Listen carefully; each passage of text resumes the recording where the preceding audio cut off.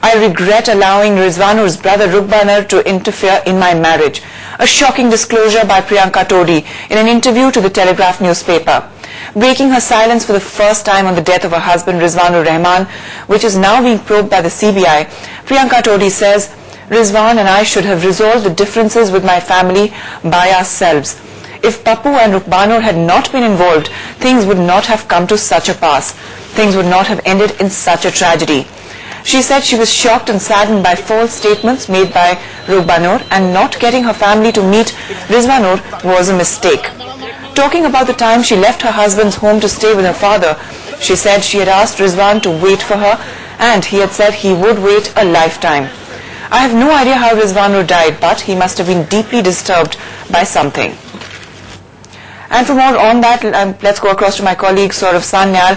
Saurav, why has she spoken out now? Priyanka, of course, in a very difficult position. On the one hand, the man she loved, and on the other hand, also trying to protect her family from a very embarrassing position.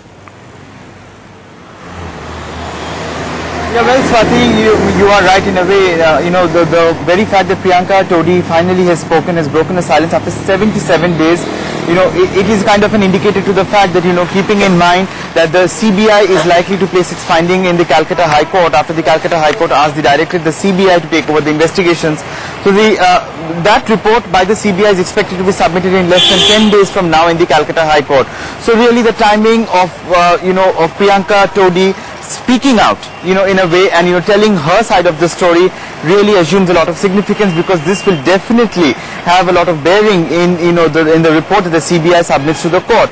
Now, but before this, though she's uh, speaking to the first time for the, uh, to the media, but she's definitely spoken to the CBI officers. Now what she has told the CBI officers really, uh, Swati, is what uh, holds the key to how the investigations will now proceed. Because the CBI sources are telling us that they, at their end, their investigations have kindly uh, have been kind of, uh, kind of wrapped up uh, and they're to place the final uh, submissions before the court. Now it is up to the court to direct what to, you know, whatever the court wants to based, based on whatever uh, evidences are placed before the court. So really the timing, uh, Swati, is quite significant in a way, keeping in mind that it's just only a matter of days before the CBI submits its report to the Calcutta High Court. Swati? Right, Saurav, thanks for joining us with that and sort of telling us that barely a few days are left for the CBI to place its investigations before the Kolkata High Court. Now moving on to the test match in, uh, underway in Bangalore, India